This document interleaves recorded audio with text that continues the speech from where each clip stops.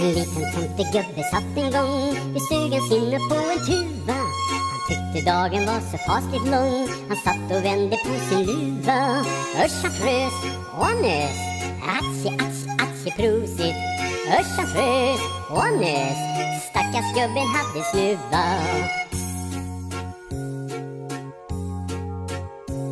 Men tomtegumman sa det var stå på. Du skrämmer både mig och katten. Till doktor Möllvad ska du genast gå? Så att vi kan få ro till natten. Gör det fin, gubben min. Atsi, atsi, atsi, prosit.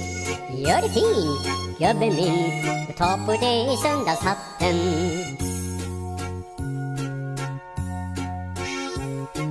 Och gubben gick till doktor Mullvadin som bodde under björkestubben och doktorn lagade genast medicin som han tog fram ur källarskrubben.